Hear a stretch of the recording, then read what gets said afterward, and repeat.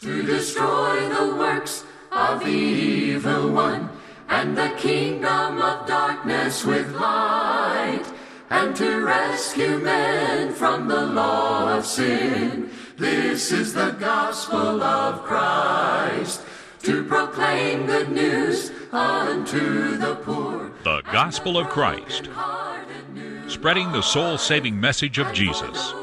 And now, Ben Bailey. This is the gospel of Christ. Why are you waiting? Arise and be baptized and wash away your sins, calling on the name of the Lord. Acts chapter 22, verse number 16. These are the words of Ananias to Saul of Tarsus when Saul asked, Lord, what would you have me to do? We're so glad that you joined us today for our study of the book of Acts. We're thinking today in Acts chapters 20 through 22. And so if you have you don't have your Bible, we want you to pause for just a moment, locate your Bible, get it handy as we're going to look to the word of God in this exciting and wonderful stu- study of the action-packed book of Acts.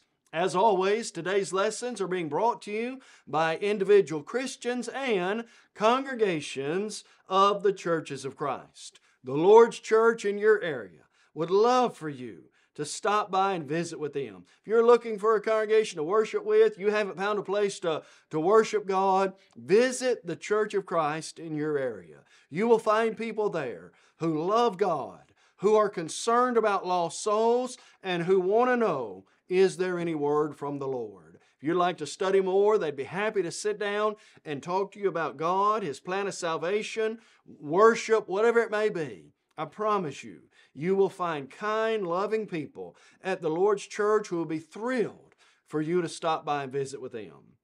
Friend, also here at the Gospel of Christ, we want to help you in your desire to draw near to God. Won't you visit our website, thegospelofchrist.com. Uh, from there, you can access all our Bible study material. We have audio lessons, video lessons, transcripts, study questions, uh, written material, just a wide variety of good Bible study material that would help you in your desire to come closer to God. In fact, if you'd like to have a copy of this eight lesson series on the book of Acts, we're happy to make that available to you free of charge. Just go to our website, thegospelofchrist.com. From there, you can fill out a meet, look for our media, free media request form. Fill that out. Let us know how you'd like to receive that material. Uh, easiest way is through a digital download you can receive instantaneously. Or if you need it in audio, we can get you a digital audio file or if you'd like to have a copy of a DVD for video, we can mail that to you as well. We'd love to help you in any way we can in your desire to know God better. Uh, check us out on Facebook, like us and follow us, a great way to keep up with what we're doing. Also, in the respective Play stores, we have uh, the Gospel of Christ app for smartphone, great way to study the Word of God in our fast paced world where everybody seems to have a smartphone, a great tool there for Bible study also. Again, we're just so glad that you've joined us, especially today as we're thinking in Acts 20 through 22 about the great question that you find throughout the book of Acts Sirs, what must I do to be saved? As we turn our attention to Acts chapter 20, Paul is continuing his effort now to take the gospel to the uttermost part of the world. As he does that, he now comes to Troas and other areas. And in the face of, of some of the discouragement, fall and temptation fall, Paul has been facing, he now realizes he's got to keep pressing on.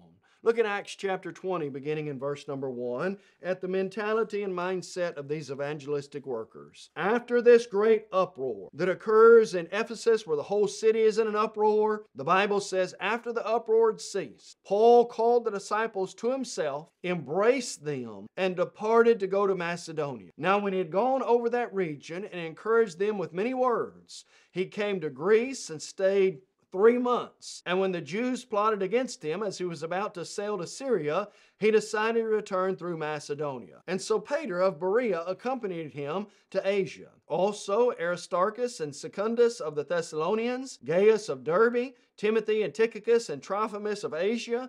These men going ahead waited for us at Troas, but we sailed away from Philippi after the days of unleavened bread, and in five days joined them at Troas, where we stayed seven days. Now, why in the world does God tell us all this incidental information? Well, friend, look at the efforts. The whole city of Ephesus is in an uproar. There's been good that was done. Uh, people burned their magic books.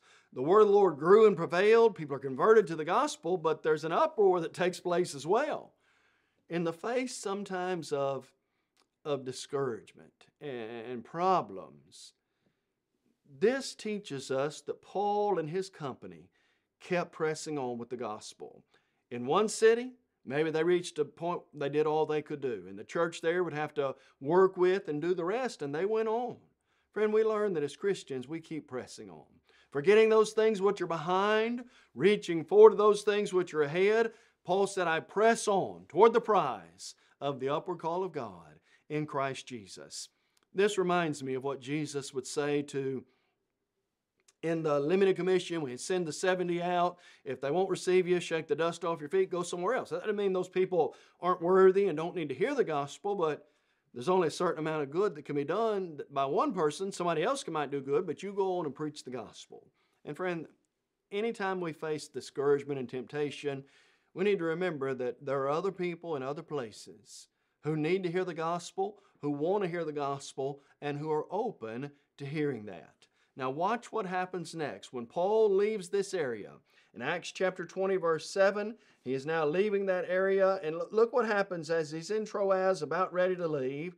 Now, on the first day of the week, when the disciples came together to break bread, Paul, ready to depart the next day, spoke to them and continued his message until midnight. And so, as he's in Troas, he gathers with the church. It's interesting here, several things happening. The church is gathering on the first day of the week. That, that, that's the day that Jesus rose. That's the day that Christians are commanded to come together, 1 Corinthians 16, every first day of the week, verses 1 and 2. And what are they coming together for? Christians are gathering together on the first day of the week to worship. Paul preaches to them. But there's something interesting that happens here. They came together on the first day of the week to break bread. You see, when Christians come together, Part of that, a big part of that, is to remember Jesus' death. 1 Corinthians 11, some were taking advantage of that, and Paul said, when you come together, it's not for that purpose, and it should be.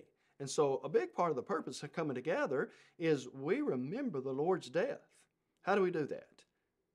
By the breaking of bread, symbolic of communion. 1 Corinthians 10, uh, the, bread that you break, is it not the body of Christ? The cup that you drink, is it not the blood of Christ? 1 Corinthians chapter 11, we break that bread, we drink that cup in an unworthy manner. So, breaking of bread is representative in the New Testament of the communion that Christians partake of.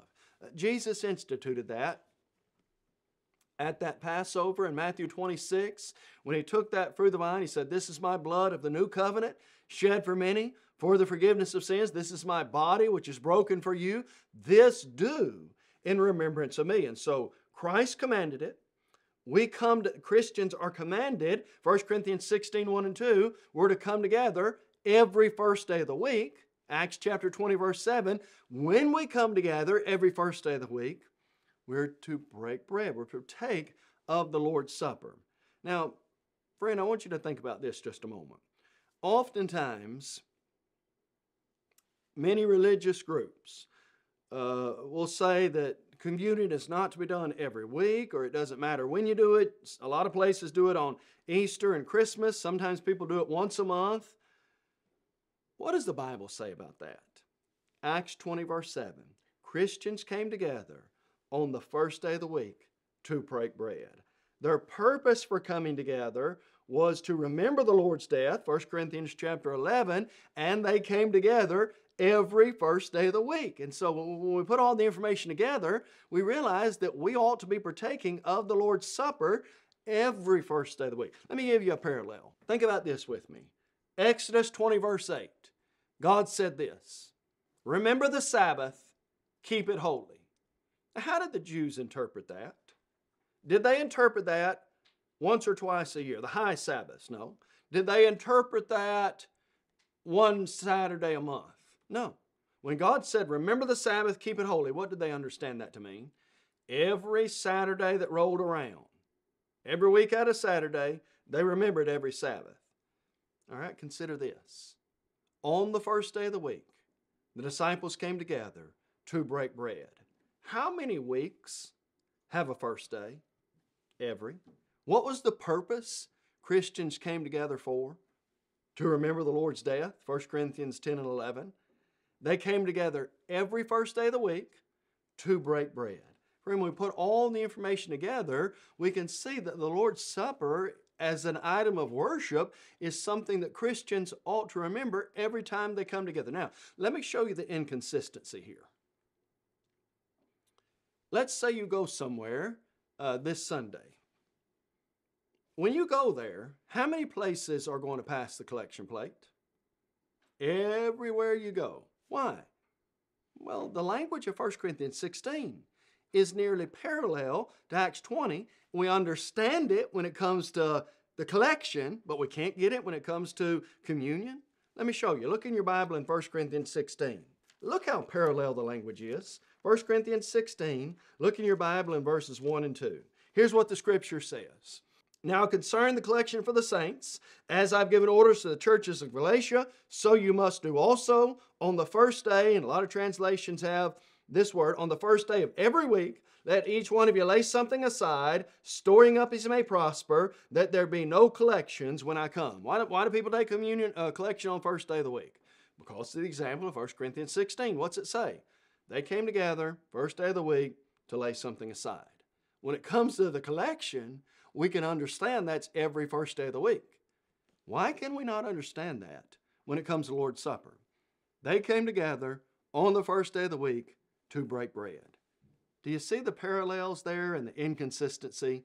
Christians, by this example, Christians are authorized to take the Lord's Supper every first day of the week. And that's what we ought to do, just as the church did then. Now, as Paul is about to prepare to go further in preaching the gospel, he now is on the beach at Miletus with the elders who have traveled from Ephesus to meet up with Paul, and he is going to give them some encouraging words to help these elders and to help the church in Ephesus, where the uproar was and where they burned their magic books and where they're filled with immorality.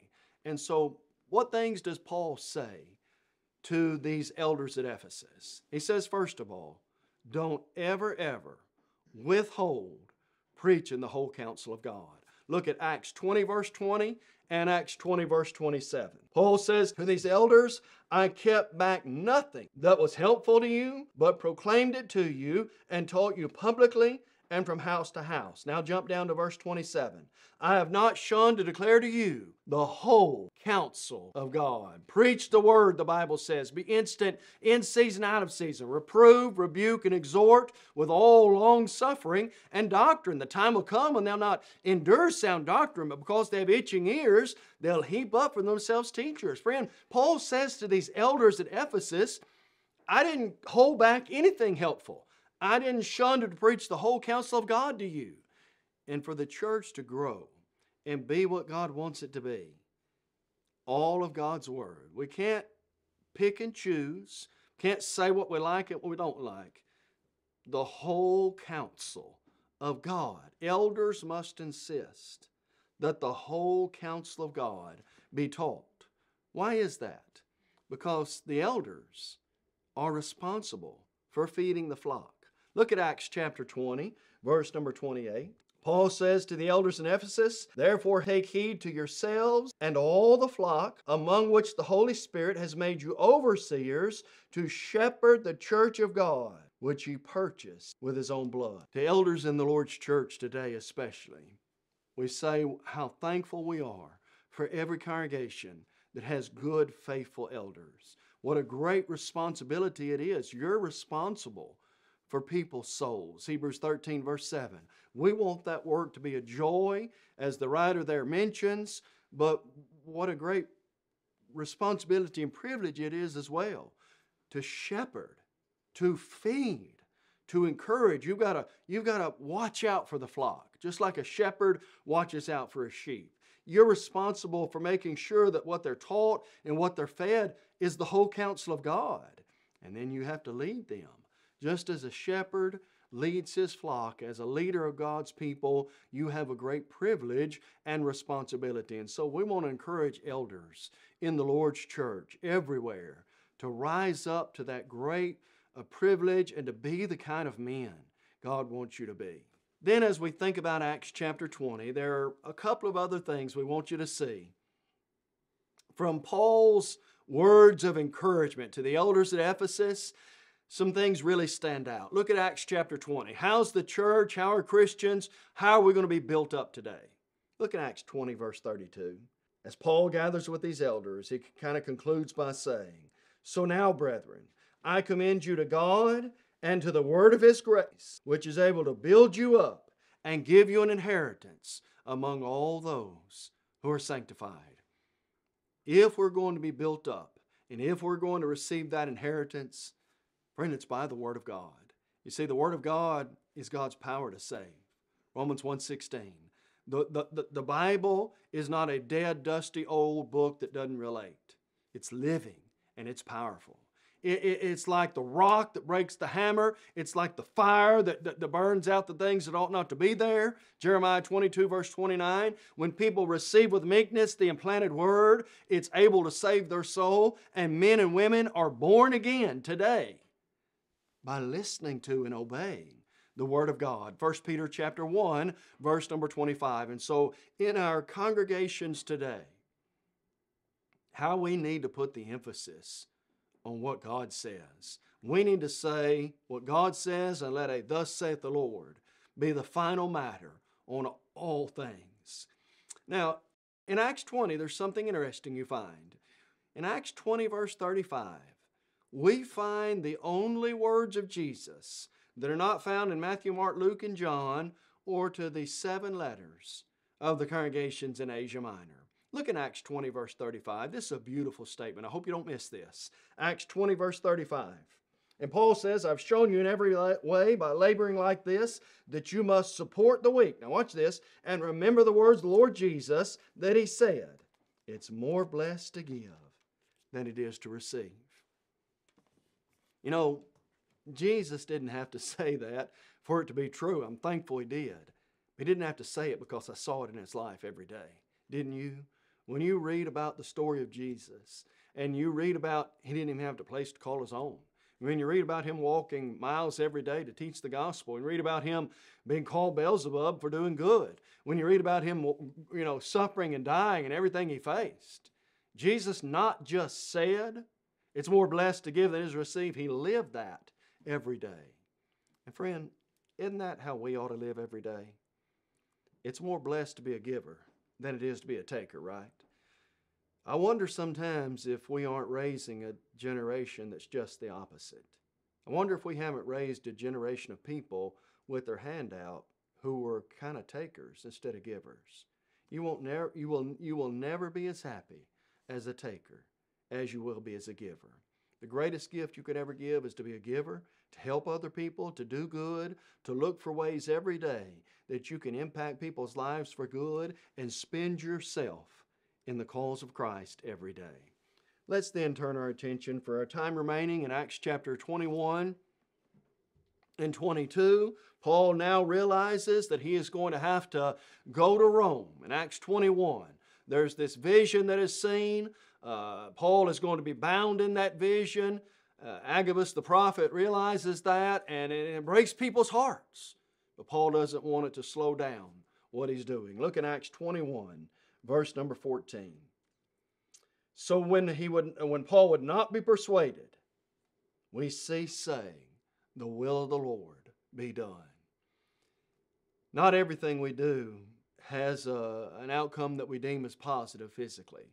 Paul was going to be bound. He was going to have to go to Rome. There would be consequences for that. He would very likely die for the cause of Christ, and that was clearly seen and showed in this vision and prophecy. And Paul said, What do you mean by weeping and breaking my heart? I'm ready not only to be bound, but to die for the cause of the Lord. And so they tried to persuade Paul, but when they couldn't, they said, May God's will be done. Friend, maybe, maybe that is God's will. Maybe God's will is that at times we have to suffer. And through our suffering, good can come, the gospel can be spread, and the ultimate plan of God can be further uh, put to a test. Now, in Acts 22, let's turn our attention now to the conversion of Saul of Tarsus. In Acts 22, as Paul is brought before uh, the Jewish leaders, the Roman and Jewish leaders in that area, Paul is now given an opportunity to recount his own conversion. L- let's recount that for just a moment. Acts chapter 9. Uh, Paul, Saul of Tarsus, that man who's wreaking havoc on the church, is now headed down the road to Damascus with official letters that he finds any of the way. He can bring them to Jerusalem and they'll be prosecuted. And so, as he's traveling down that road, Paul's blinded by that great light. Voice comes down from heaven Saul, Saul, why are you persecuting me? Saul responds by saying, Who are you, Lord? I'm Jesus, whom you're persecuting. It's hard for you to kick against the goads. And then Saul asks, Lord, what would you have me to do? And do you remember next what the Lord said? You go into the city, it'll be told you what you must do. God sends Saul into the city to the street called Straight. Ananias, God's servant, is now sent to Saul of Tarsus to tell him what he must do to get right with God. He realizes Jesus is Lord. He realizes what he's been doing is wrong. He's blinded by that light, but he still needs to do something. There's a must that is missing there. Look at Acts 22, and I want you to see what Paul recounts Ananias saying to him that he had to do. Acts 22, verse 16. The Bible records these words. Actually, if you would, back up to verse 12. Then a certain Ananias, a devout man according to the law, having a good testimony with all the Jews who dwelt there, came to me, and he stood and said to me, Brother Saul, receive your sight. And at that same hour I looked up at him. Then he said, The God of our fathers has chosen you that you should know his will and see the just one and hear the voice of his mouth. For you will be his witness to all men of what you've seen and heard. And now, why are you waiting? Arise, get up, and be baptized, and wash away your sins, calling on the name of the Lord. When the Lord told Saul, Go into the city and it'll be told you what you must do. And when Ananias came and said, Why are you waiting? Get up and be baptized and wash away your sins, call the name of the Lord. That is what Paul had to do. And friend, that's what every person has to do to have their sins washed away. Question At what point in verse 16 does the Bible say Paul's sins were washed away? when he got up and was baptized. Baptism is the point at which sins are washed away. Why is it that point? Because the Bible teaches it's the death of Jesus that saves. Hebrews 9:22 it's the blood of Jesus that saves, right? Without the shedding of blood, there's no forgiveness of sins. He shed his precious blood that can forgive sins, and we are washed in that blood. Revelation 1 5, 1 Peter 1 18 through 20. Now, at what point, if it's the death of Jesus and the blood of Jesus that saves me from my sin, at what point does the Bible say I contact that blood? Romans 6, verses 3 and 4. Paul said, Do you not know that as many of us as were baptized into Christ Jesus, don't miss this, were baptized into his death. Therefore, we were buried with him through baptism into death. Friend, you cannot access the blood and the death and the sacrifice of Jesus without being baptized. The Bible teaches that's when we contact his death. That's why baptism is essential to salvation. 1 Peter chapter 3 verse number 21 says, baptism does now also save us. Why? Because that's when we contact, number one, because God said so, and because that's where we contact the blood of Jesus. Mark 16, 16. He who believes and is baptized will be saved. Acts 2, verse 38. Repent and be baptized for the remission of your sins. Jesus said, unless a man is born of water and the Spirit, he cannot enter the kingdom. Of, we're not talking about just one time here. The Bible over and over and over again teaches baptism is the culminating act where I contact the blood and the death of Jesus, and it's where my sins are washed away. We repent and we're baptized. Why? Let's let God tell us. For the remission of sins. Acts chapter 2, verse number 38. And so, my friend, as we've thought today about this study in Acts chapters 20 through 22, we can't help but ask the great question of the book of Acts Men and brethren, what shall we do? Sirs, what must I do to be saved? Have you done what God says you must do in the book of Acts to be saved? Have you done what people in the first century did to simply become Christians? Nothing more, nothing less. Have you heard the message that Jesus is the Son of God? John 8 24, unless you believe that I'm He, you'll surely die in your sins. Have you believed in that message? Have you returned? Have you turned away from a life of sin in repentance? Acts 3, verse 19. And have you been immersed in water for the forgiveness of your sins? Friend, if you've not done those things and you've followed some other man made plan, then in all kindness and love, we say to you, you've not followed God's plan of salvation. You've not done all that God says you must do to be saved, and you're still outside of Christ and lost. Do we want that to be the case? Are we happy? Of course not. God wants all men to be saved, and we do as well.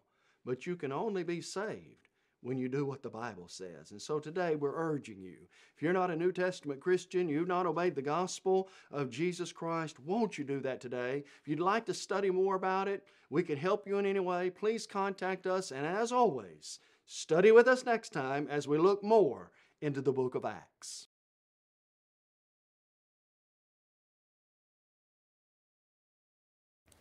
Today's closed captions are brought to you by Christian Family Bookstore in Chattanooga, Tennessee. We encourage you to visit thechristianfamilybookstore.com for all your Christian book needs. You may have just joined our program and are wondering, what is the gospel of Christ? The gospel of Christ is an evangelistic work of the churches of Christ with its whole aim to take the gospel to the whole world. We do that through TV, internet, free media, and streaming. Our motto truly is to take the whole gospel to the whole world, and we believe in having a book, chapter, and verse for everything we say and do. And unlike many religious programs today, we're concerned about lost souls, not your wallet. Visit thegospelofchrist.com for a host of Bible study materials, including audio and video of our lessons. Request your copy of today's lesson by completing a media request form online. On demand downloads are also available at thegospelofchrist.com. We would love to hear from you. Email us at mail at thegospelofchrist.com or call 844 6 Gospel. You may also write us at the address on your screen. Search your App Store for The Gospel of Christ to access our mobile app on your smartphone.